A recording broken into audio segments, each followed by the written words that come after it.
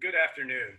I'm Michael Sabia. I'm the director of the Munk School of Global Affairs and Public Policy at the University of Toronto. So on behalf of the school and on behalf of uh, our co-host, uh, Ambassador Sparwasser, Germany's ambassador to Canada, I want to welcome you all uh, here this afternoon to a discussion of what I think is one of the 20th century's defining events, and that is the reunification of Germany and everything that it meant for Germany, but for Europe, and even more broadly than that, for the global order itself. It's a tradition at the University of Toronto to acknowledge that our school uh, stands on the traditional lands of the Huron-Wendat, the Seneca, and the Mississauga of the Credit River. As I said, German reunification was an important, a very important event in the 20th century. It's a fascinating subject. Um, and in order to discuss a fascinating subject, you need a fascinating panel.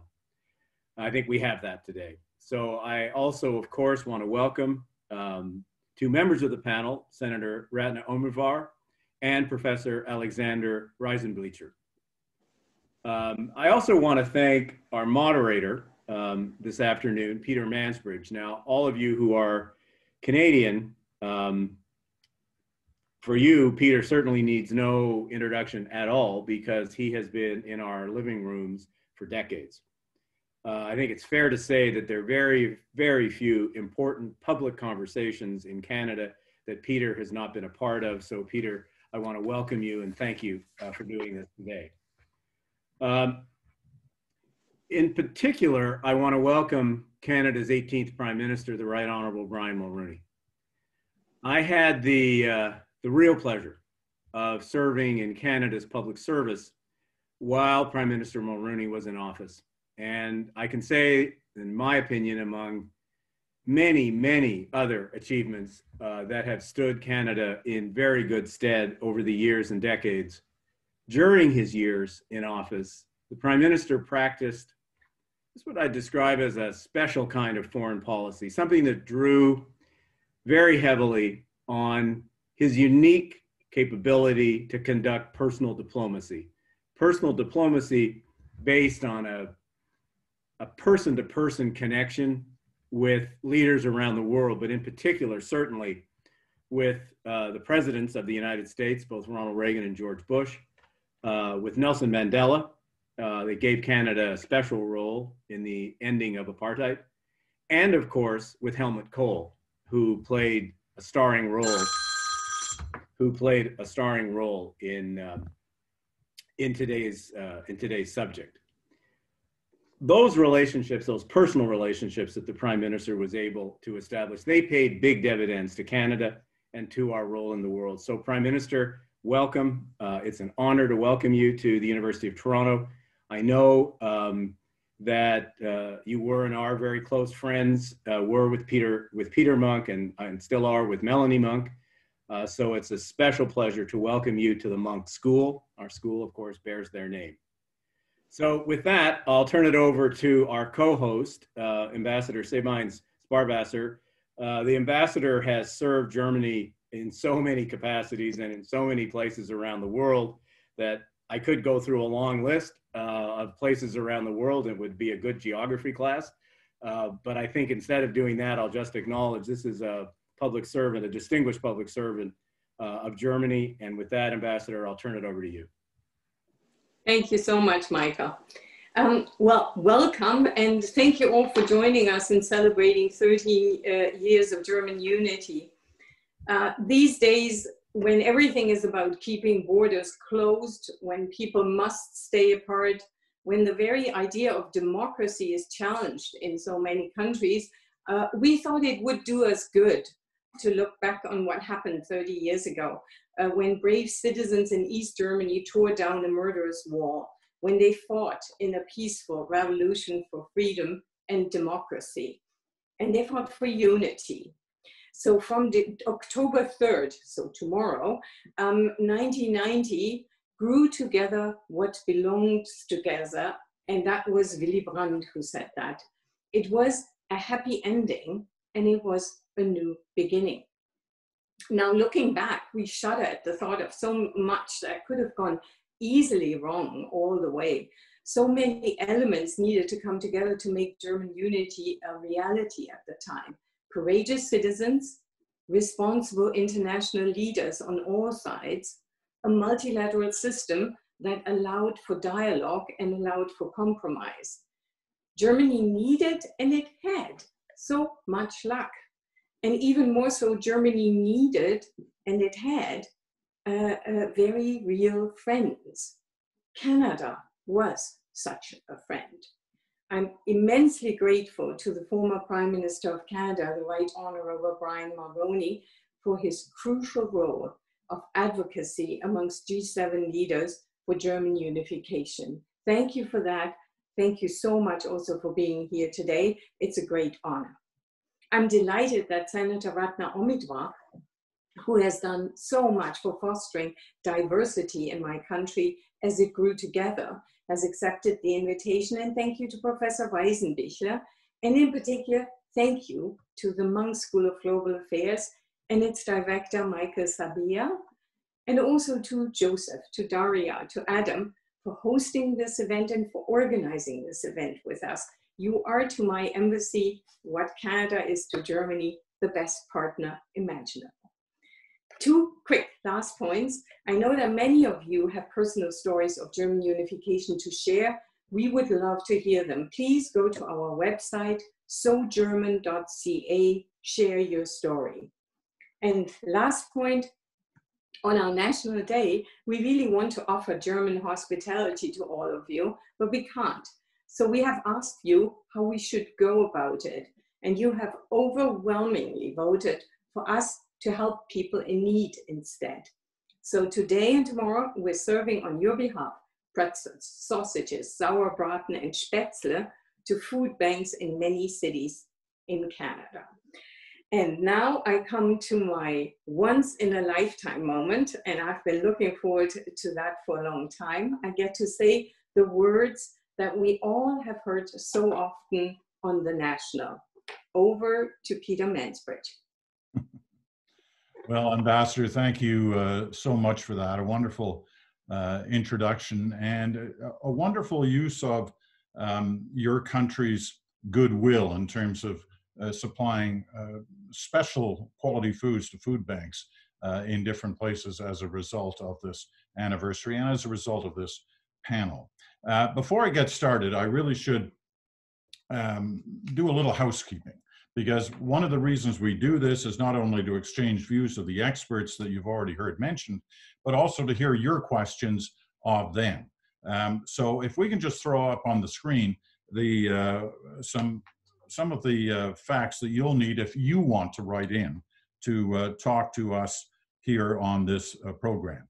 Um, you can use the Zoom Q&A tool via Twitter to at Munk School or by email to events.munk at utoronto.ca.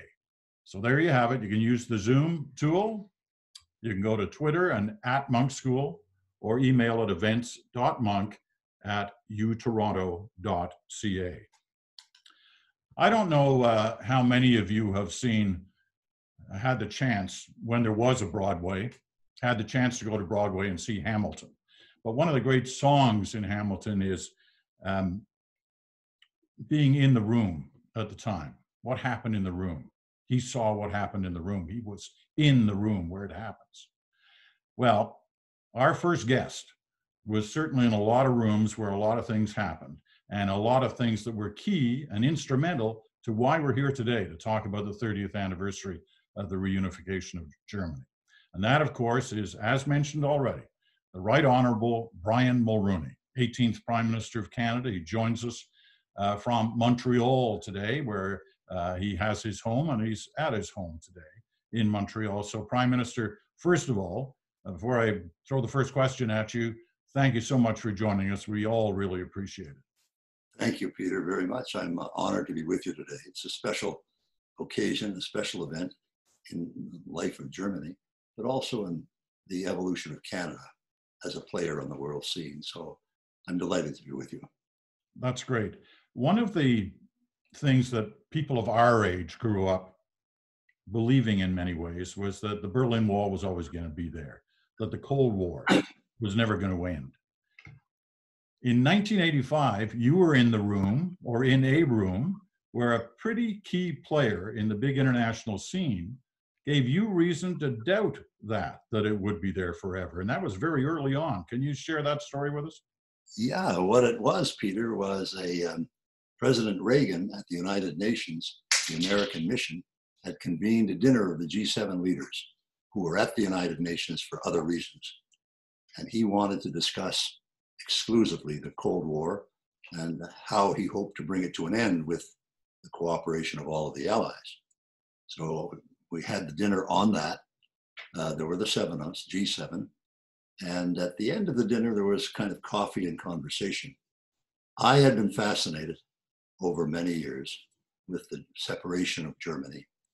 And I was intrigued by how it was going and the, all of the espionage and the secrets that were flowing around. And I had been talking to Helmut, Helmut Kohl from the beginning, uh, which in my case was only about a year, year and a half earlier, about the situation. So at the coffee clutch, I said, uh, now Helmut, the meeting's over. What do you think about uh, German reunification? And he said, um, well, Brian, it's going to happen. And uh, I said, well, when do you think it's going to happen? And he said, well, I don't know when it'll happen, but I'm sure it, it will happen one day. And I said, what's going to what's going to be the motor of this? What's going to bring it about? And Kohl said, television.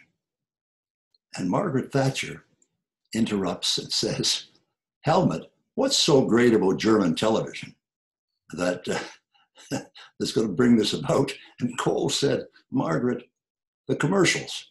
She said, What are you talking about? And he said, 97% of East Germans receive West German television. And every night they see these marvelous consumer goods that are available to everybody in West Germany. And when the East Germans want this badly enough for themselves, the wall is coming down. And he said, I don't know when, but I know for sure it's going to happen. And that was the that was the anecdote that launched a, a thousand ships for the G7. I'll tell you. Well, it wasn't that long after, actually. It was another four years or so that takes us to November of 1989. And I remember the day when the wall started to come down. I mean, a number of things had already happened by then, but that was the significant moment.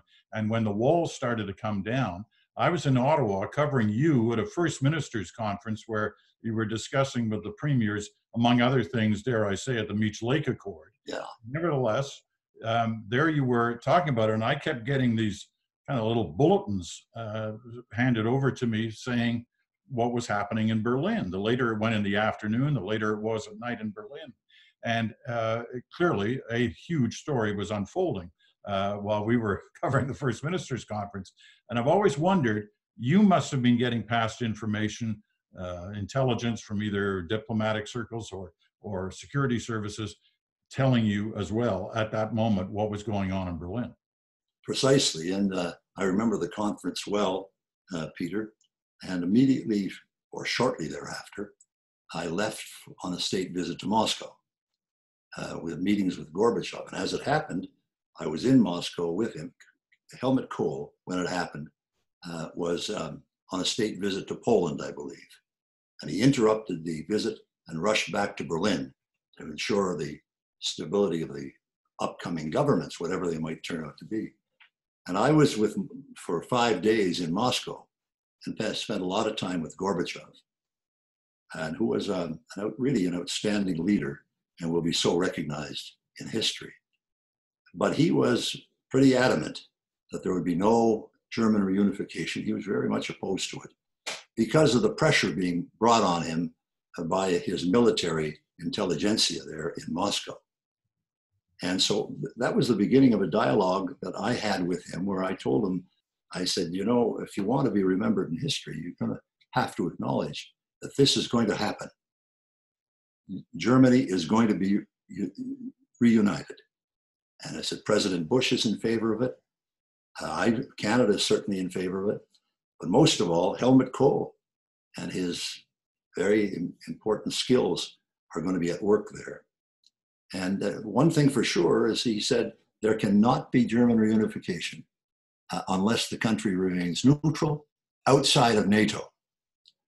I didn't push too hard except to tell him that's not going to happen, Mikhail. Uh, that's not going to happen. And so, what the next step, Peter, as you'll remember, was the meetings in Ottawa, uh, which was going to be the Open Skies Conference, but which turned into something else.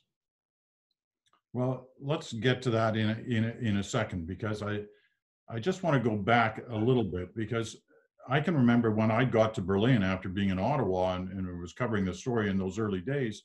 Um, it's easy to look back now and say, oh, well, it was obvious what was going to happen. Well, it wasn't obvious. Uh, nobody knew for sure exactly how this was going to unfold because while you were working the Gorbachev angle and the Bush angle as well, um, there was, re- I'm not sure if resistance is the right word, but there was certainly concern in Paris and London on the part of uh, Mitterrand and Thatcher about this whole idea of German reunification. Oh, very much so. Margaret was deathly opposed to it.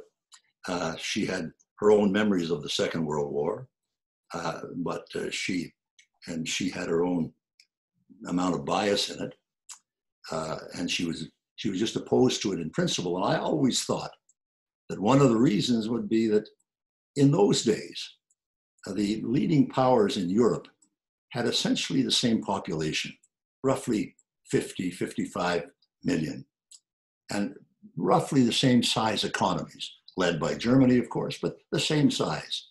And this would add 19 or 20 million East Germans to the, to the pot in West Germany. And this would transform the power balance that existed so well in Europe for so many years. And she was opposed to that. The Dutch were ferociously opposed, didn't even want to talk about it when I mentioned it to them. They kind of want to throw you out of the room. Uh, and that were the memories of the um, of the war as well, were deep antipathies uh, below the surface.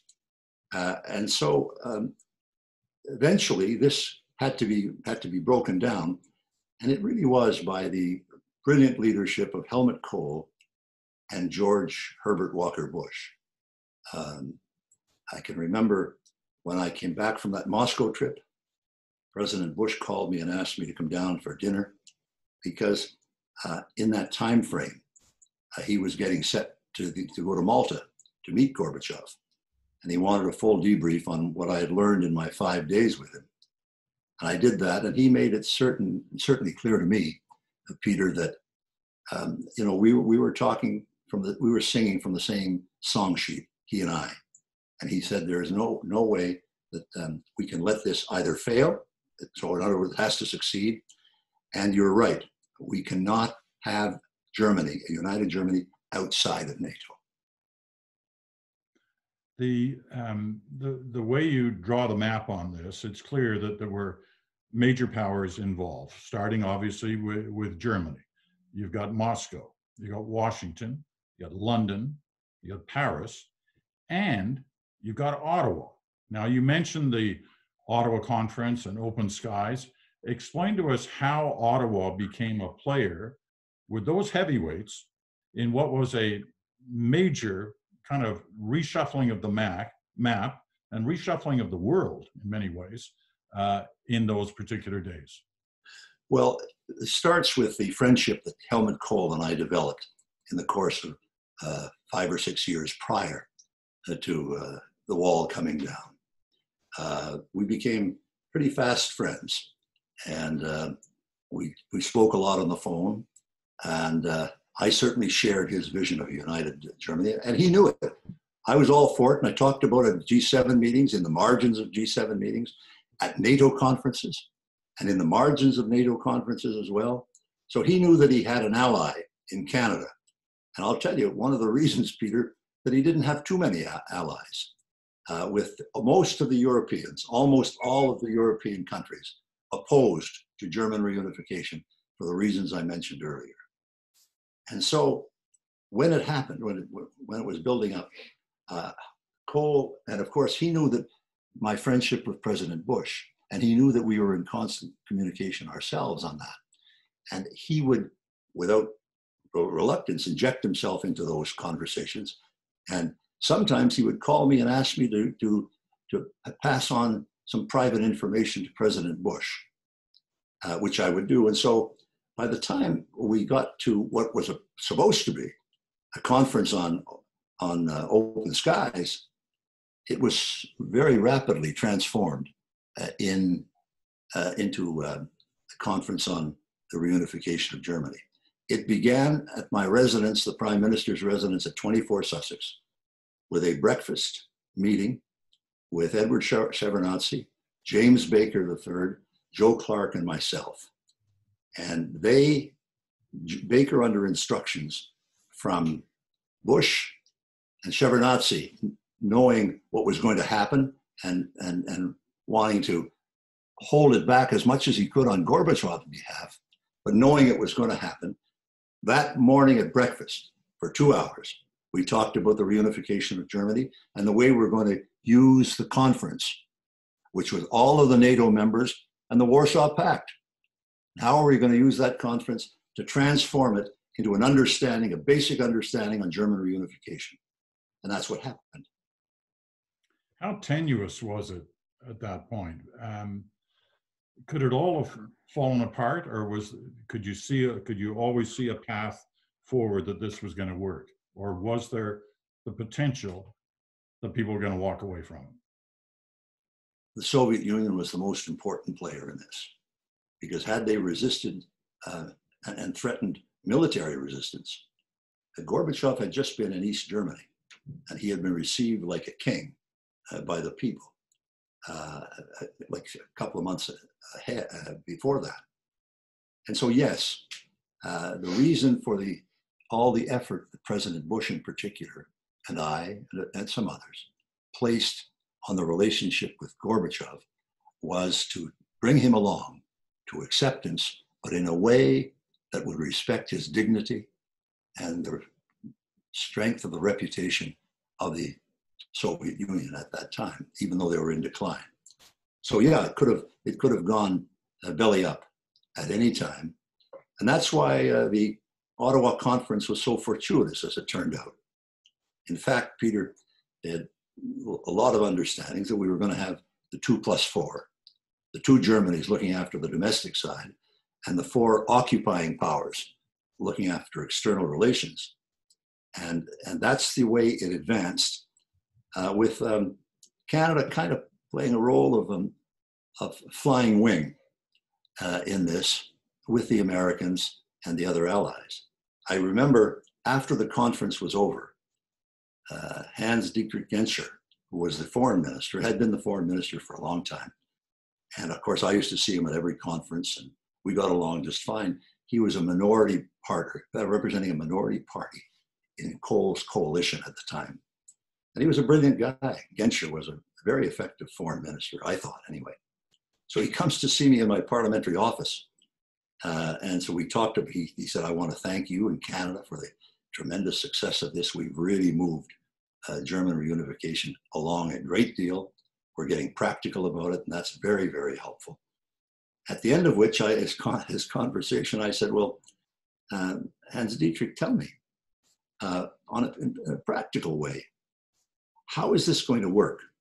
Uh, and he said, What do you mean? And I said, Well, you know, you've got the GDR and you coming together. For example, I said, Take your ministry. Uh, who is going to appoint uh, the ambassador to Washington or to Paris or to London? From what side will they come? And he said to me, They're not going to appoint anything. I said, What do you mean? He said, We're going to appoint them all. And I said, Well, this, I guess this is not a merger, eh? He said, No, it's a takeover, which it was, which it was. But when you think about it, it had to be. There was there could only be one driver in this, and it had to be the powerful uh, German Republic, West German Republic. When you look back uh, at that period of uh, you know high stakes diplomacy, yeah. no question about it. When you look back at that period, which is you know 30 years ago now, uh, what lessons from that time could be applied to what we're witnessing now on the international stage? I know it's a funny day to to ask that question, given the events that have, taken place at the White House in the last 24 hours. But setting that aside for the moment, just in terms of the the international picture and the way uh, countries relate to each other, especially the countries that were instrumental in this uh, particular venture. What are the lessons from then that could be applied to today? Well, if you're looking at it from a Canadian perspective, Peter, the Prime Minister has to engage, be engaged personally in the relationships of the important leaders in the world. He's got, particularly the United States, irrespective of whom the president turns out to be. He's got to be down there. He's got to work both sides of that street, including the media, the interest groups, the White House. He has got to have, like we've had, privileged access to the uh, United States of America and its president. He's got to be in the Oval Office on a regular basis because Canada, with that, we're able to leverage our influence uh, many times over. Uh, because a lot of countries, you know, there are 200 countries just about in the United Nations. All of their presidents or prime ministers trying to get into the White House. We used to be able to walk in there. Uh, somebody just pointed out to me a little while ago that, that on this, just on this, I was in the White House seven times to meet with President Bush and dozens and dozens of phone calls on, on every aspect of this.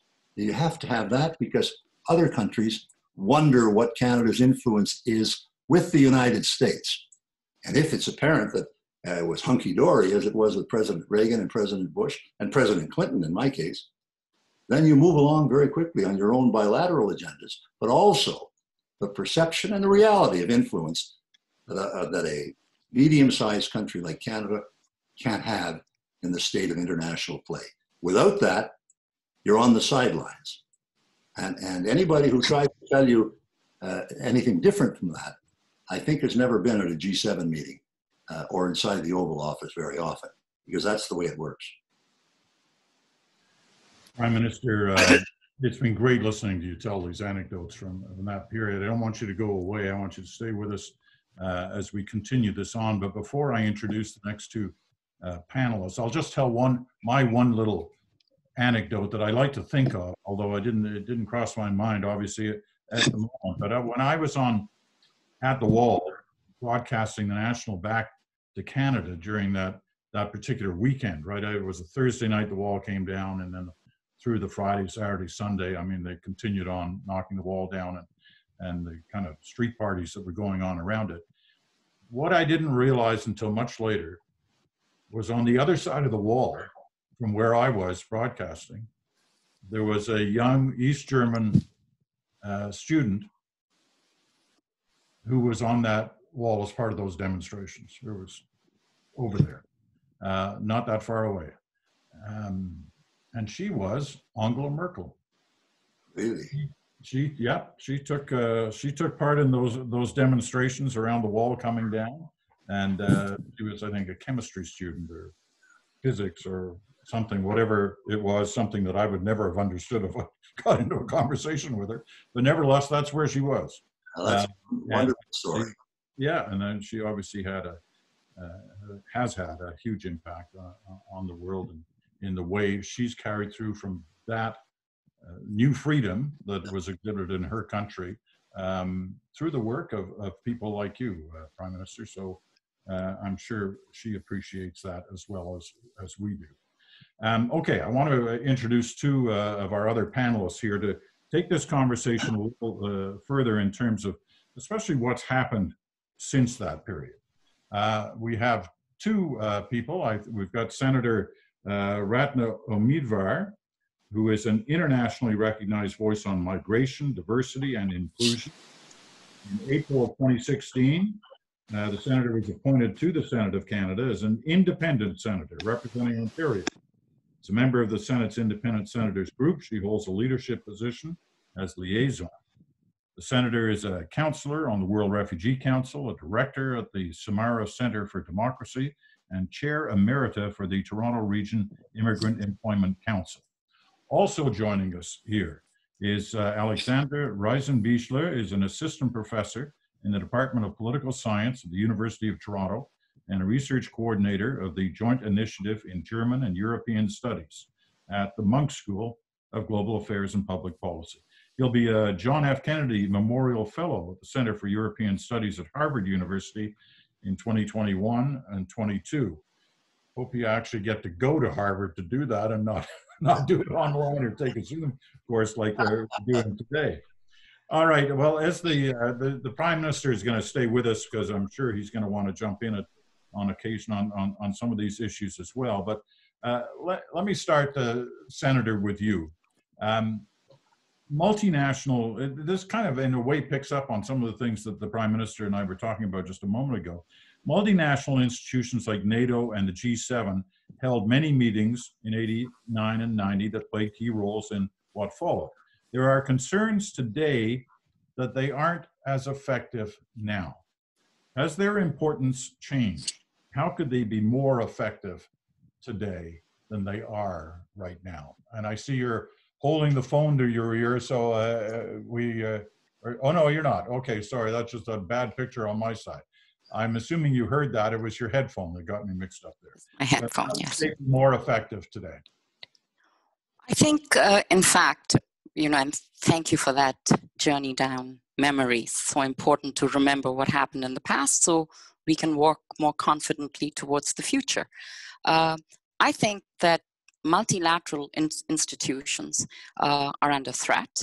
The rule of law is under threat. And there are a few like minded jurisdictions like Germany and Canada, that, and there are others, and we need to work with them to continue to strengthen the existing multilateral uh, institutions as best we can. And I take Prime Minister Mulroney's point well that if bilateral arrangements work well, then they also propel you towards improved uh, conversations and dialogues at the multilateral level. I think Canada needs to be, you know, as a as a as a middle country, as a as a country that doesn't pull the same weight as the United States, and I would say even as the super economic powerhouse of Germany, we play a role because we do things well here, and we can put forward how peace, good order, peace, order, and good governance, which works really well here. I mean, there are no absolutes always in this conversation, but we can propel our understanding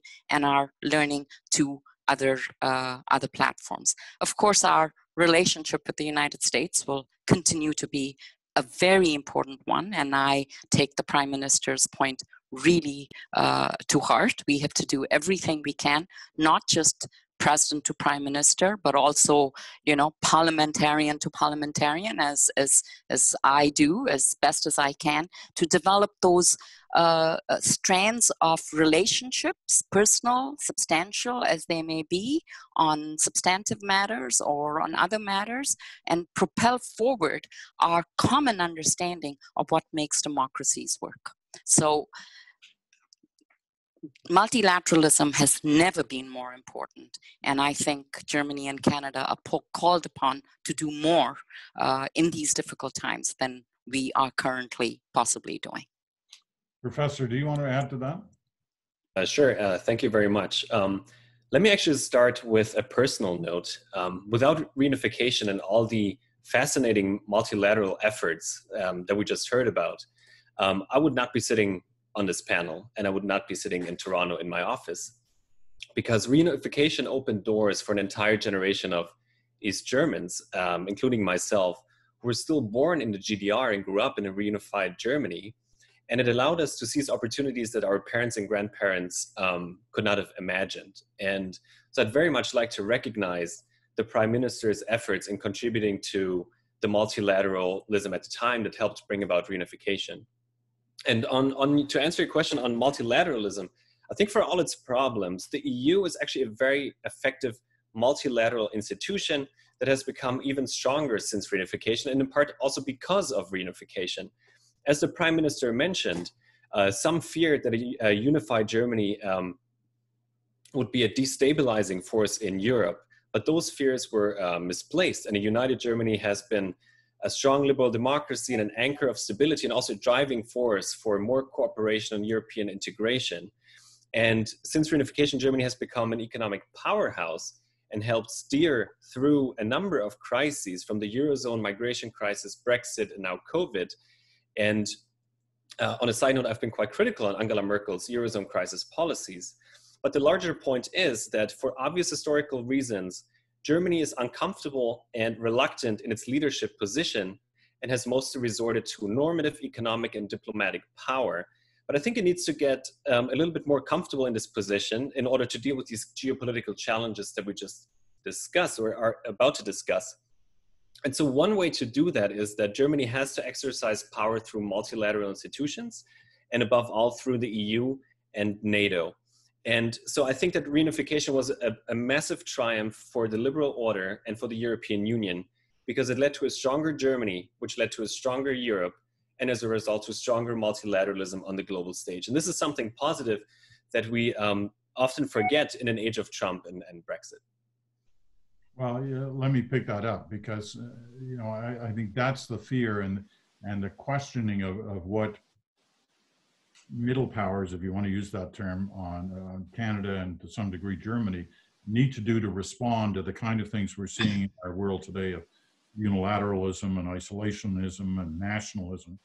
Because um, it does make you wonder, you know, whether the international rules-based order is in some kind of jeopardy right now. And if it is, what do we need to do beyond having you know, sort of better one-to-one relationships between leaders or parliamentarians. Um, Senator, do you want to try that? I, I think uh, we are all right to be concerned. Uh, my work on the World Refugee uh, and Migration Council, which looked at these kinds of arrangements breaking down and what can be inserted to revive them, sort of led me to one conclusion that when multilateralism is breaking down, maybe you need to create regional arrangements that may in fact uh, help resolve a crisis. Uh, you know, let's say the Myanmar refugee crisis, which has uh, has is, is is a real blight on the world, and the, the failure of nation states uh, to um, to share the responsibility as they should has is apparent, and possibly it's regional arrangements thailand burma uh, uh, malaysia india working together uh, to resolve such a situation could be could be a, a, solution. I'm not suggesting that we leave multilateralism aside but we look for other expressions of working together whether it's bilaterally or regionally. I, I think we're at a time when we have to look at new models uh, for new times Prime Minister, do, do you want to um, venture into this one? I mean, is the international rules-based order in jeopardy right now? Well, it's um, ailing because of the attitudes of the American presidency. Uh, they've uh, spent more time praising uh, our enemies uh, than, than praising our allies and our, and our friends.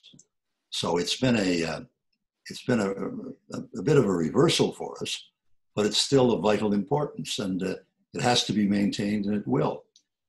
It, give you an idea, Peter, to come back to our earlier discussions about German reunification. After the Ottawa Conference uh, in February of 1990, President Gorbachev comes to visit me in May of 1990 on a state visit. And he is going off down to see President Bush and he arrives to tell me the story that having visited with his colleagues in Soviet Union and heard the opposition, that there can be no, there can be no German reunification uh, unless Germany is neutral, has a policy of neutrality, and no membership in NATO. And I said to him, and that gives you an idea of the nature of the beast when you're able to have developed friendships and, and you're known back and forth to be speaking clearly to one another. I said to Mikhail, look, I'm going to do you a favor. Do not go down to Washington and take that position publicly vis-a-vis President Bush because it's not going to fly. And you're going to be wounded because you're going to be turned down in this important, very important international meeting between you and the President of the United States. Find a way around it. Change your policies a little bit, put some water in your wine, and Bush will help you out.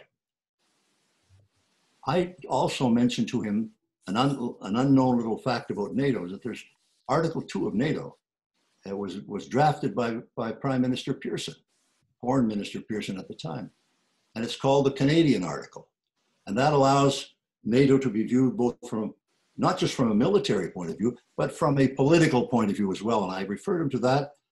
That mollified him somewhat. And when he went down to Washington, rather than be humiliated by a firm no from the President of the United States, they got along and they maneuvered it so Gorbachev uh, came out of it, appearing anyway, to be uh, as a bit of a victory for him and a victory for Bush. Bush was indispensable. I mean, in, Bush was the one indispensable player in German reunification, apart from Kohl himself. There's no doubt about that. And he, he conducted himself in such a way as to turn Gorbachev around. And you may remember that that summer at the G7 meeting in London, Gorbachev came in, and I, I thought it was a laying down of arms of, uh, for, for the Cold War. And a couple of weeks after that, he was on holiday in Sochi, and he was overthrown by the nut bars in the in the Soviet military establishment. That goes to prove the kind of pressure that he was under and the vital importance of the roles played by Chancellor Kohl and President Bush. Because without that, who knows what the generals in Moscow would have done? They already had him arrested and, and, and, imprisoned him in, in house, house arrest and who, who knows what they would have done with the military. And it was, I think, that dialogue and that firm expression of Western values as articulated by President Bush. We were all available, of course, and able to make our own case, which we did. I did to him in Ottawa. Uh, but basically, I have always thought, as I look back on it, Gorbachev was vital because he didn't listen to his military advice on the one hand. Bush and Kohl were indispensable to make it happen in a positive manner. Professor, um, you talked about your childhood, obviously, right? I think you were born and grew up in, in Leipzig, and then were given this opportunity as a result of reunification. When you look back, and we've, you know, clearly the great successes uh, as a result of reunification, what problems have emerged from reunification? That is a very good question. I think that on the whole, I would call unification a success with footnotes. And I'm happy to elaborate on the successes later on. But I think there are maybe two problems um, that have also emerged um, as a result of reunification. And there were many successes so, uh, um, um that I've mentioned earlier and I can go into later. Um, so I think that one major problem is a stubborn persistence of wealth inequality between East and West Germany. And what that means is that household wealth in West Germany is still four times higher than in East Germany. And this has to do with higher home ownership rates in the West. It has to do with a much stronger um, middle class and small, medium sized enterprise culture in the West as opposed to the East, where wealth gets inherited to future generations. And of course, West Germans had a 40 year head start um, over East Germans in terms of accumulating wealth. I think this is one aspect. And I want to pick up on one of the prime minister's point from earlier again, which is um, sort of this, this, notion of takeover from the West um, over the East. And so the, the second problem, I think, is um, that West German elites and firms still dominate the country. And what that means is that there's not a single top 30 firm which has its headquarters in East Germany. So that is one major aspect and even though East Germans uh, are 20% of the population, there are very few East Germans in leadership positions in Germany and, and even in East Germany. So it's true that we have an East German chancellor, Angela Merkel, but to give you a sense, there are zero university presidents from East Germany. Only 1% of federal judges are from East Germany.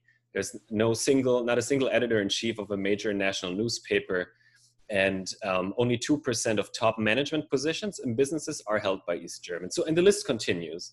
And I think that these inequalities in wealth and power result in the fact that many East Germans don't feel properly represented and recognized. So 57% of East Germans feel as second class citizens. And that, if I may, goes on to the other major problem, which is um, populism and far right politics in East Germany. And this is, um, of course, a serious problem in all of Western Europe and also in West Germany. But one thing stands out the far right populist party, the Alternative for Germany, is particularly strong in East Germany. Support for the AfD is about twice as high in the West as it is in, uh, eh, sorry, twice as high in the East as it is in the West. And of course, this has many reasons, and we can debate them uh, in the Q&A, such as the migration crisis, um, less experience with democracy, less experience with foreigners, a deep distrust towards the state, given the historical legacy in East Germany. But it's also a lot of protest voters against the inadequate representation uh, in German society, of East Germans in East German society and in parties. And, and particularly older generations um, may not share the sentiment that I expressed at the beginning, that it was mostly a success. Many feel as if they were losers after reunification, whose world collapsed in 1990 because they had to experience some massive breaks with their biographies. But this is not to take away from the successes. I do want to reiterate that. I do think that unification was a success with footnotes, and I just mentioned the footnotes without elaborating on the on the successes very much. Well, you know, that's that's us in the media, right? We just we just go for the bad news. We we don't want the good news. We just want the bad news.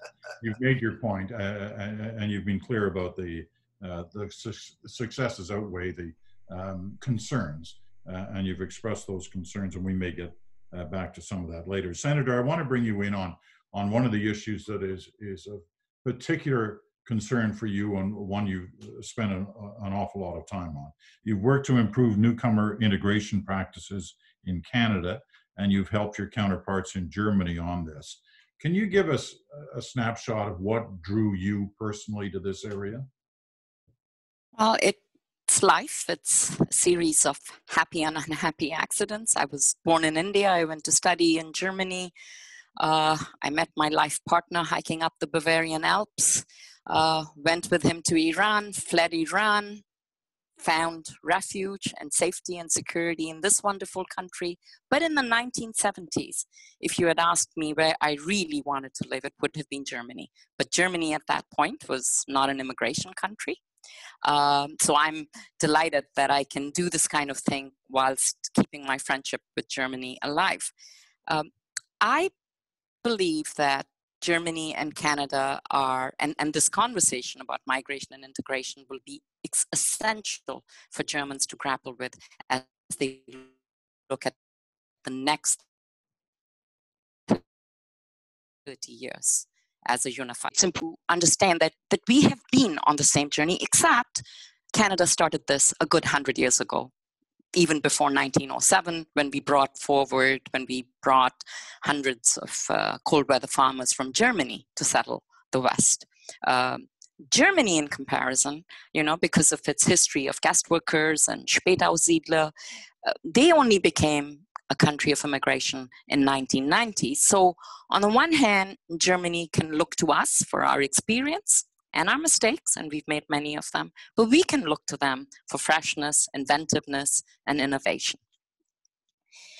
We also have something else in common. I think German policymakers and politicians who believe in migration as part of the economic future of a country and believe in integration understand that you need to have the hearts and minds of people on side.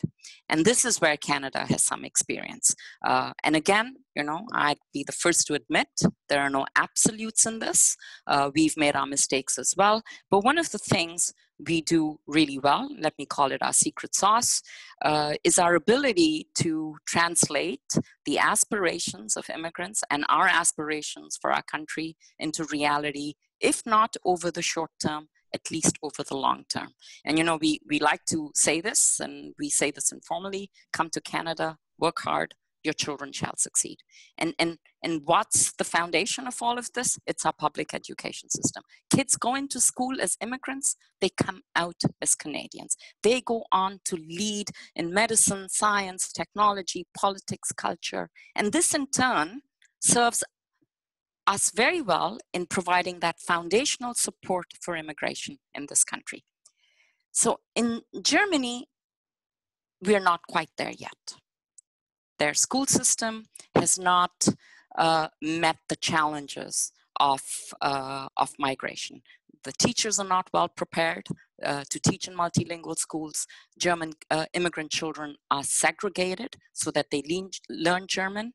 We throw them into the classroom, we immerse them, and from my point of view, immersion will always work better than segregation. And they also have structural issues in their in their system where you know people are streamed into certain uh, vocations and opportunities, and it's very difficult for immigrant children then to um, uh, achieve uh, a pathway to higher education.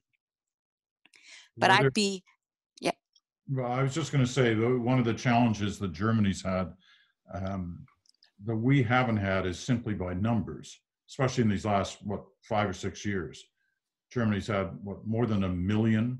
Um, they welcome more than a million as a, resi- a result of the migration crisis. So, trying to be, trying to ha- have a certain degree of order among their, say, education system with those kind of numbers must be incredibly challenging. I agree 100%. I don't know how Canada would have done if a million people had arrived at our shores. So we need to give a real nod to Germany and to Chancellor Merkel when she said she will accept them. And then she said something that I, I, I still remember it. To calm the people down, she said, Wir schaffen das, which means we'll manage it in a very practical way. She said, we will put our arms around this. Now, I've looked at the numbers and there are, you know, there are issues and certainly that kind of influx of new people will always create uh, disturbances. But one of the things that, that Germany did, possibly unintentionally, is to deal with its population problem as well. Uh, like Canada, it is it has uh, an age dependency issue um, and and you know if we got a million people uh, we would have suffered too i think and had some real expressions of dissatisfaction in our country but we would have been further along the population uh, uh, uh policy agenda. So you know i i think uh, that on this we are the two countries that quite uniquely, along with Australia and New Zealand to some extent, stand, stand apart from others. We are open to immigration, we are open to uh, diversity and inclusion, but it would be so much better if we work together and learn from each other. Um, and, and I would hope uh, that as a result of this uh, symposium, we get some formal and informal collaboration going together. You know, I will say, well, we have to learn from Germany. What they do really well is they respect the trades. It, uh, their children are proud to be mechanics and plumbers. All our immigrant children want to be doctors, lawyers, and engineers. We need mechanics and plumbers too. Maybe we have to have a real exchange of school systems here. Peter, if I may just say a quick word on Absolutely. what Senator just mentioned. She's 100% right. Canada can only flourish with immigrants. Uh, when I became prime minister, I think the number of immigrants we accepted was somewhere around 80,000 a year. I increased it to 250,000, uh, the, highest number in, in, in modern history. And that's the only way that we can, we can succeed because the immigrants, the waves of immigrants bring uh, knowledge, influence, uh, hard work, uh, family values. They bring all of these things that contribute to making Canada a better country. And uh, one of the things that uh, Chancellor Merkel did, I think she, that when she accepted all of the immigrants, the refugees, uh, over a million, I think, at, at one particular time, that she was providing moral leadership for Europe and the world. And that is not an insignificant commodity in, in, in international leadership. Uh, she, uh, she articulated, and she was an East German, and she articulated values that will live on in history when she explained and defended that decision to take, take those immigrants in. I believe that Canada is going to become a, a big player only when we reach 75 million people. And I put that in when the Globe asked me to contribute to that series in the summer about uh, how I would see a post COVID 19 Canada, one of the things uh, that I, I put out there was the need to enhance and increase our immigrants to the point where Canada one day soon, hopefully, uh, urge go from say 40 million, we're flirting with 40 million people now, to 75 million. At 75 million, a lot more people take notice of you and your influence is enhanced considerably in the international matters we've been discussing. Yeah, I can. I remember that uh, comment in in the in the Globe piece, and uh, you know, almost doubling the size of our population is a really interesting uh, theory to throw out there because it would cause, as you can well imagine, a fair amount of debate, uh, a good debate uh, yeah. for the country uh, for the country to have. Listen, we've got uh, we're into the kind of final stretch run here, and we've got a lot of questions uh, from the audience. I think we've got seven or eight hundred people at least online, if if not more numbers are so small, even with my glasses, I can't read them. But I think that I think that's what it says. Uh, so I'm going to ask these questions and kind of uh, bat them around through the three of you here. Um, and uh, uh, for the, the, lack of a better term, I'll, I'll, call them short snappers. So the question will be short, and hopefully the answers uh, will be so we can get to as many of these as possible.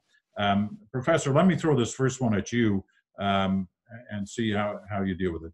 How do you think the concerns of some, such as the UK, about a reunified Germany in 1990 are perceived 30 years later? Um, I was, as I mentioned at the beginning, I think that those concerns were um, in many ways misplaced, and I think that um, again, uh, Germany's um, uh, Germany has assumed a leadership position in the European Union in in a fairly reluctant way again for its obvious for very obvious historical reasons but it has provided leadership um, throughout a number of crises. Now at the same time i can understand that southern european countries for instance during the eurozone crisis have not been very happy with angela merkel's decision making and and so this is um, a, a, concern I'm, I'm sympathetic about or sympathetic to. But at the same time germany has provided leadership throughout this crisis. And i think that that was um, um, positive. And on the UK, perhaps one thing I would like to add is, of course, Brexit. Um, the UK is no longer part of the European Union, and I think um, we also talked about multilateralism at the first part of this conversation, and I do think that um, we need to um, strengthen the European Union in order to enhance multilateralism at the global stage. And during the Brexit negotiations, that was actually a case in point, and I thought that um, when the UK um, um, um, um was uh, uh, when the European Union was negotiating with uh, the United Kingdom in order to to produce Brexit.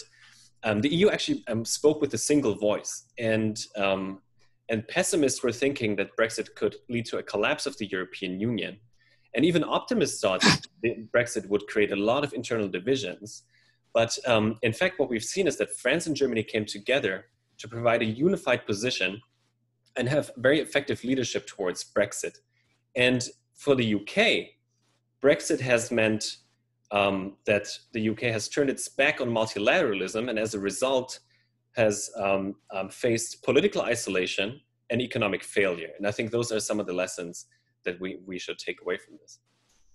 All right, uh, Senator, I'm going to give you this one because it gives you a chance to uh, uh, respond in some manner to what the professor said uh, about 10 minutes ago. Here's the question what are some of the tangible ways in which the German government can tackle the structural inequalities that exist in its eastern federal states, especially when compared to its western states? You know, Peter, I'm reminded of when I visited uh, East Berlin when I was a student in in Munich, and I walked into, uh, you know, out of the subway uh, and through uh, a gate, and I was in a different country. And I remember that vividly. Um, it was the same language, but it was clearly a different culture, a different politics, a different people. I visit Berlin very often. uh, and I see uh, the great changes that have been made uh, to that city as a symbol of that reunification between East and West. And I talk to people in the street, and I, I think the East Germans, um, to some extent, have because there's only been one generation of East Germans, who are now Germans, who have experienced democracy in 30 years. The rest of them have never actually experienced democracy. And they look at what is happening uh, with. Uh, uh, with a certain sense of loss almost. They see their symbols uh, no longer exist, uh, that the Volkspalast on Unter den Linden has is now being reconstructed as the in in the image of the former palace uh, of the king. So I think you know outside the substantive uh, issues uh, and substantive ideas that Germany can take to bring former East Germany into the personality of Germany, it has to also pay attention to some of the symbolic um, uh, gestures, uh, you know, recognizing uh, poetry, literature, film, uh, symbols. All of these things are very important. In terms of inequality, if it's if, if we're talking about uh, economic inequality, um, I would sort of brag a bit about what Canada has done recently, where we're putting money every month into poor children's hands. It, it you know, it's the Canada Child Benefit has done an enormous uh, amount to lift poor family. It's not a universal uh, transfer; it's means tested. If you fall under a certain income level, every child in every family will get a certain amount of money. Uh, and that is a policy solution that I think others could well look at. Prime Minister, um, here's one for you. What does the future of the European Union look like, especially regarding the admission of new countries, given Germany's leading role in Europe? I think that they're lucky to have uh, Germany in such a commanding economic position in Europe because since the uh, Schmidt and Kohl and Merkel and so on, um, and Schroeder, uh, those leaders have been uh, have been enlightened in their approach to Europe and to the world. Germany has provided that kind of leadership. I always thought, watching them very closely, Peter, that Helmut Kohl had given a moral proxy to François Mitterrand to speak on behalf of both countries because Kohl was conscious in those days, it's a long time ago now, he was conscious of, of the opposition to Germany that remained in countries like uh, the United Kingdom and so on. And Mitterrand used to speak on behalf of them, of both of them. But everybody knew that, that um, Germany was the emerging power and influence. And I look at the track record since the war and uh, the leaders that I've had the pleasure and the privilege of knowing and watching them in action and I would say that, um, that the optimistic view of Europe and the world is in good hands in, in, in shared German leadership. Where the others have gone off the, off, off this, the map are the British with that decision to abandon Europe and to go the Brexit route. This, in my judgment, is one of the most stunning mistakes in modern British history and will be so regarded, I think, in future. But meanwhile, you compare that with the steady and uh, visionary leadership of the Germans. And I think that Europe is happy that, or should be happy, to have an influential and powerful country uh, like um, the new Germany that has emerged. Uh, that, that's going to be very valuable for all members of the European Union. Uh, Professor, what measurable policies will Germany and during its EU presidency in 2020 propose to lead global mobilization against climate change? That is a very good question. Um, I believe that the European Central Bank, for instance, has been considering the purchase of green bonds as part of its quantitative easing programs. This is um, these are interventions in open markets to um, drive down interest rates and also stimulate the economy. And one way the European Central Bank can do this is by buying green bonds. And I think this is maybe one way that um, um, Christine Lagarde is pursuing um, in the future. And there, Ursula von der Leyen has also announced plans to have um, to have um, green investments as part of the COVID uh, rescue fund, um, 750 billion. I, I believe that energy and green um, um, investments are part of this too in the in the in the next two years. Um, here's a question. I mean, uh, it's interesting actually that it's taken us more than an hour to hear this phrase COVID-19 in this discussion today, but here is one. Uh, and it in some ways links it links the some of the issues that we've talked about here. The problems the international community faces today, COVID-19, climate change, etc., require a global response. But the pandemic has resulted in world leaders quickly turning their gazes inwards and focusing heavily on domestic policies to address the current crisis. Add this to the rise of global protectionism and populism. So here's the question What are the effects of the current state of affairs on multilateralism? Are we so far gone from the time of hope and promise that saw the two Germanys unite? Senator? I think we have seen some interesting expressions of renewed interest in multilateralism. I'm an optimist. My name in Persian means hope, uh, and I, I, look at the at the at the contributions to COVAX, uh, which is which is being uh, developed by the WHO. Canada has put money into it. Germany has put money into it. A lot of nation states have put money into it because we recognize that if we want to keep ourselves safe, we have to keep the world safe as well. So I think it, in a way, yes, we as as a first instance we have turned inward, and and that is only natural in a way. This closing of borders and securing of PPE for ourselves, etc., etc.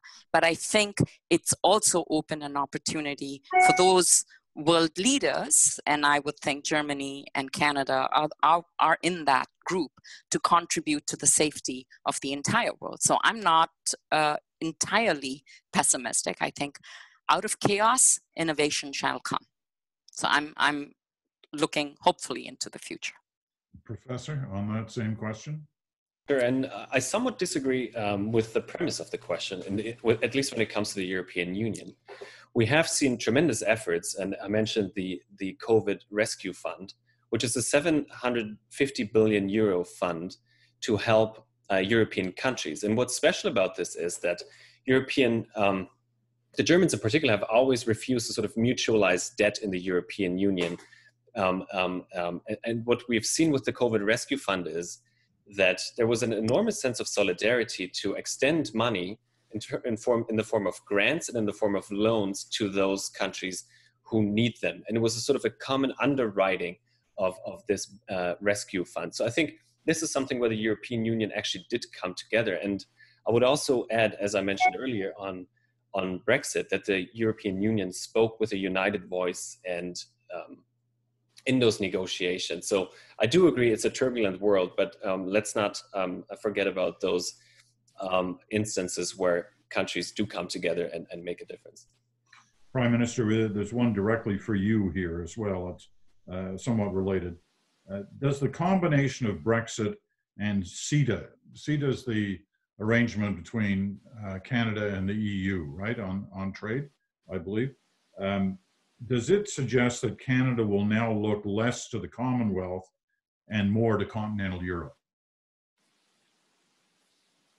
Well, most of our trade in that area is with continental Europe, uh, much less with the Commonwealth. Uh, 50 countries or so around the world.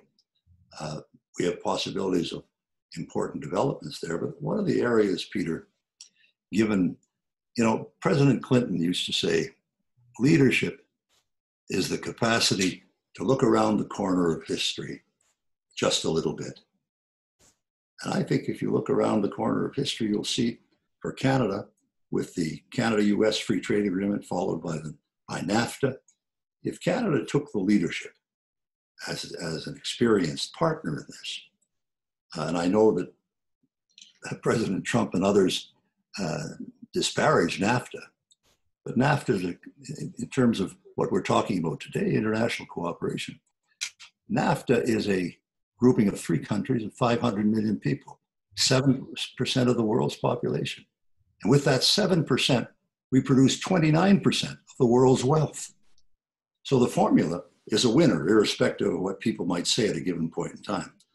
I would like Canada to assume the leadership with others uh, of the free trade area of the Americas, which would bring in 35 countries, a billion people, and a GDP of $33 trillion a year.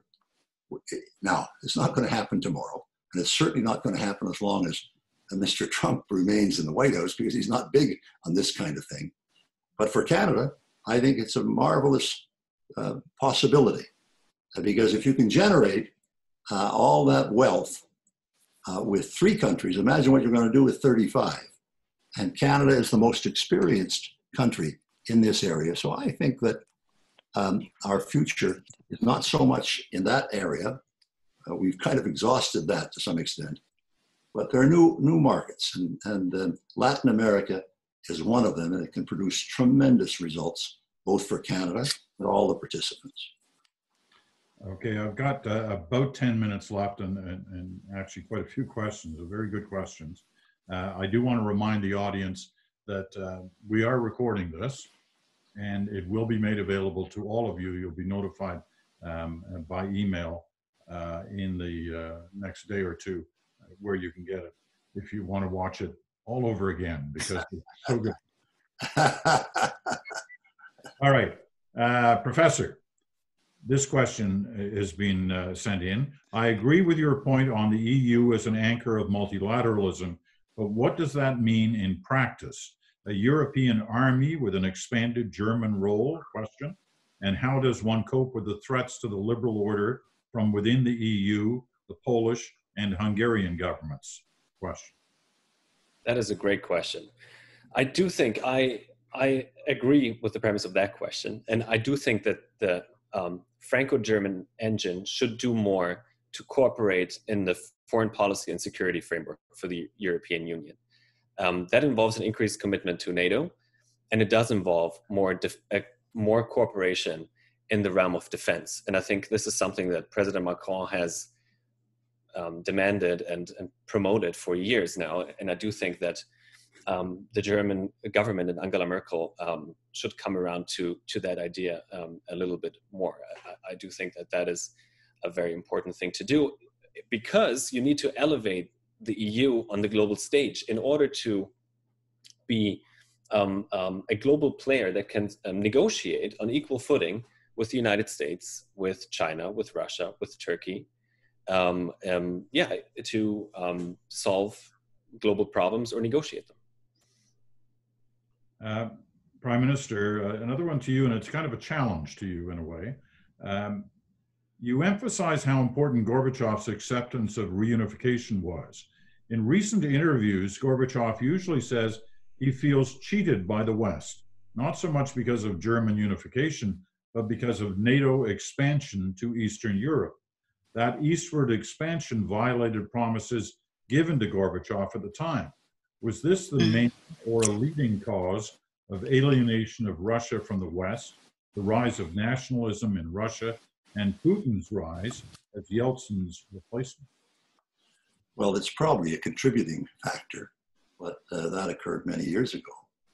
Uh, and uh, there's been relatively little change in uh, NATO's financing or, or NATO's attitudes. Uh, I think that um, President Gorbachev uh, who has been very poorly treated at home, in spite of his tremendous leadership qualities. He's he's had a bad he's had a bad number of years there, because the Russians still do not appreciate uh, the splendid nature of his his proposals at that time, and blame him for the bad news that had happened in the Soviet Union and in Russia. Uh, so I think that's, if I can say this respectfully, him because I, I like him a lot, I respect him. This is a bit sour grapes because um, all of the damage to the Soviet Union was inflicted by the by the Communist Party in the Soviet Union and now in now in Russia. Uh, so I, I think that's a that's a an unfair comment, if I can put it that way. Uh, he deserves a lot of credit for his leadership, and he hasn't gotten it so far, but he will in history. So I think that's the way I'd look at it, Peter. Uh, Senator, this one's for you. Uh, with your diverse background and from the perspective of your generation, what advice would you provide to younger generations to become agents of change and impact policy? That's a million dollar question, but uh, I think uh, young people embrace more readily uh, the world that we are in today than us older people. They embrace difference, they embrace uh, uh, diversity in ways uh, that our generation may have had problems with. So I think they're naturally uh, uh, equipped uh, to deal with a brave new world. Um, and, and I'll give you a little factoid which will interest everybody.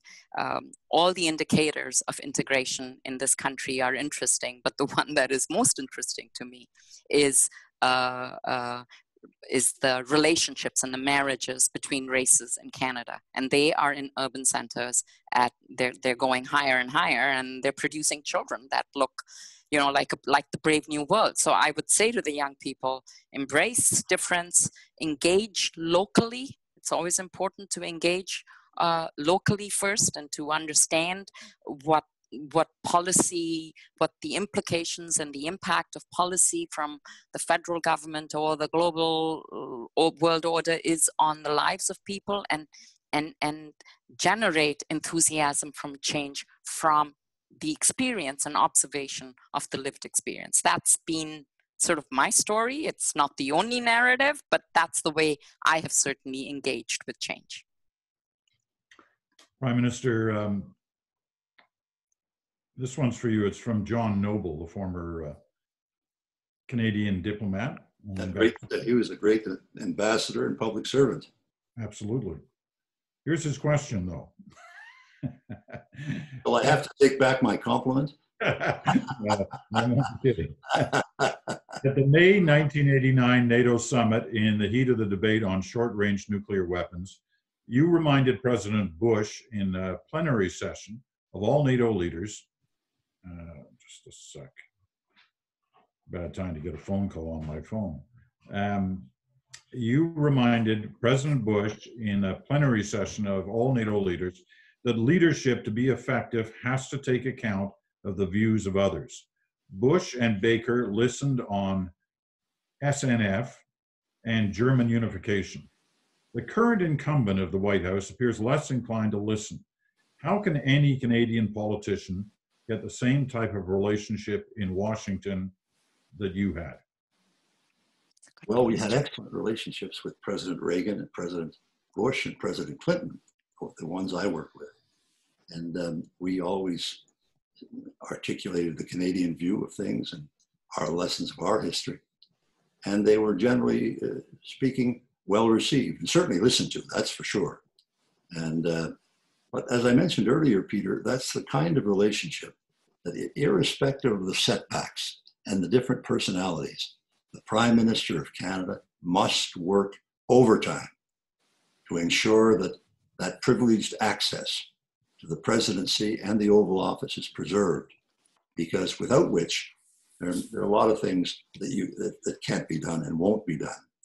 Now, dealing with George Bush or Ronald Reagan, and I've said this before, uh, Justin Trudeau has a much more difficult job than I had, because I was dealing with with people who were internationalists, they were free traders, uh, they were they consulted the Allies, and they were pro Canada. And so I had a relatively easy time of it compared with the Prime Minister today. But in spite of the difficulties, you know, we're five weeks away from election down there, who knows what's going to happen. Nothing is forever. And so uh, we have to maintain, and the Prime Minister has to maintain an optimistic view of the relationship because so many things, good things, can happen uh, when the US and Canada are in sync on these major international issues. So I would encourage the Prime Minister, even though he gets knocked down from time to time, and some of the president's advisors have, have made nasty comments about him and about Canada. I dismiss that. I disregard that completely and stick to the main show. The main show is the relationship between the president and the prime minister. There was one last question for you here. Uh, I'm not sure who sent this one in. Prime Minister, are you sure we can't convince you to run again? well, I said I, I, mentioned the other day, Peter, that, that, that when I was in office, and John Noble will remember this, when I was in office, uh, Mahathir Mohamad uh, was the prime minister of uh, Malaysia. And two years ago, he made a comeback as prime minister at 92 years of age. So I, have just turned 81. So, so I'm wondering, is, is it too late for a comeback? because he made a good run at it. but no, I, I think that uh, I think I had my time and uh, was very happy and privileged to be able to do it. And now I'm happy just to look back and watch the others uh, strut their stuff on the world stage. Yeah, it sounds very familiar. It's the kind of thing I say too. uh, but, Peter, but, Peter, they miss you when you're gone. Yeah. yeah, they don't miss you when you're there. They miss you when that's, that's for sure. uh, so a quick final word from uh, both the professor and the senator. Let's, let's start with the professor. Just on you know what we've kind of discussed in the last 90 minutes. If you could just pull perhaps one thread out of that and give us a, a concluding remark from your perspective. Of course. Um, I think so. I want to come back to this notion of success with footnotes. I want to expand on actually what we have achieved from from an inside German perspective. And I think it's important to remember that 30 years ago, East Germany was in really bad shape. The economy was uh, crumbling, and so was infrastructure. There was mass unemployment, dramatic population decline, and environmental devastation.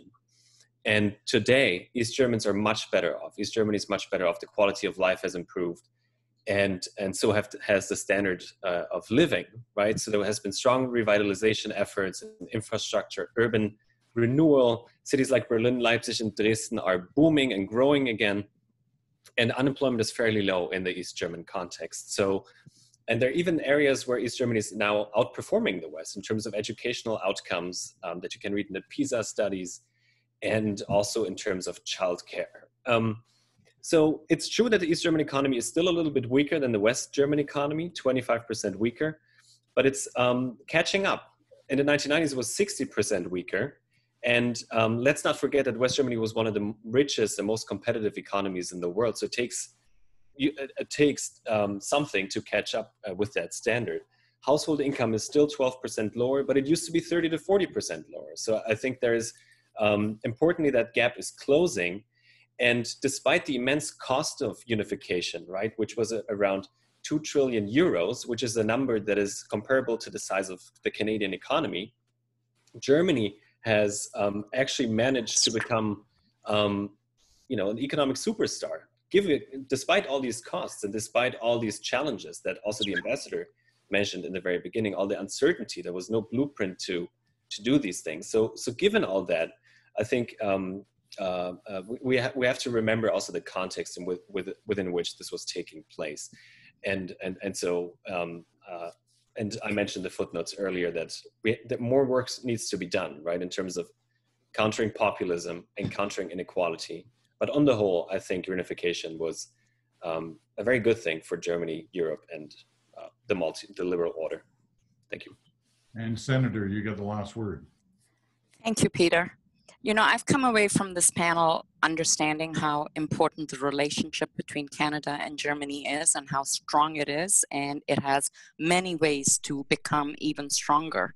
Uh, you know, for one, Canada looks forward to the ratification by Germany of CETA. It's a matter of time, but, you know, strong trade relationships are important for, for collaboration um, you know, I'm, I, remember, I remind myself that 10% of Canadians count themselves as, as ethnic Germans. So there's a very strong bond between our two countries and great potential for becoming stronger together. I because there are so many students on this call, at least I hope there are. I'll give I'll, I'll give a sh- give a, a, shout out to those students who travel overseas to study, and and that is one of our problems in Canada. We have a wonderful Canada German Germany student exchange, yet the flow of traffic is more from Germany to Canada, and the students that seem to go from Canada to Germany uh, are, are interested in, in Germanistik, uh, but we should have a very strong exchange of students in STEM and other, uh, other uh, areas as well. Uh, so you know, I've come away from this thinking that yes, we have our multilateral and our bilateral uh, associations. We, I'm a member of the Canada-Germany French Friendship Group, uh, which is sort of an informal group of people. We could make it stronger uh, and, and hopefully in the next three or four years we will become stronger uh, so that we can have these kinds of formal and informal exchanges on matters of trade, human rights, uh, right-wing extremism, disinformation. These are all uh, issues that Canada and Germany can work together on and, and, and do better if we work together as opposed to individually. Thank you. Let me, um, let me just give a couple of concluding remarks. Uh, and they're mainly thank yous to our uh, wonderful panelists here. Uh, and a thank you to the Munk School, and a thank you to the ambassador for, for allowing us this time. Um, one of the things that's always, I guess, puzzled me about our country is, in terms of Canada, is that we tend to be shy about our accomplishments. Um, and we tend to think, oh, you know, maybe we're overstating what we what we did in certain areas. Well, I don't, I don't think we do. I don't think we overstate them enough um, uh, because you can go through our history over the past 150 so years uh, where there have been particular achievements that happened beyond our borders, but happened because of our involvement in them. And I think that uh, Prime Minister Mulroney and his government deserve credit as credit has been given by other governments to Canada for its role in this particular uh, issue of German reunification. Um, I've also, I was, you know, I was, I was in South Africa when they buried Nelson Mandela, and the Prime Minister uh, was there, and we managed to speak for a, a, few minutes at that time. And I can tell you that in that country, um, uh, there are few people from outside South Africa uh, who receive as much credit for first the uh, freedom granted to Nelson Mandela um, after a long uh, time in jail at a time when many of us thought he'd spend the rest of his life in jail, uh, but also to the end of apartheid, uh, as Michael Sabia mentioned at the beginning of, the, uh, of, of this.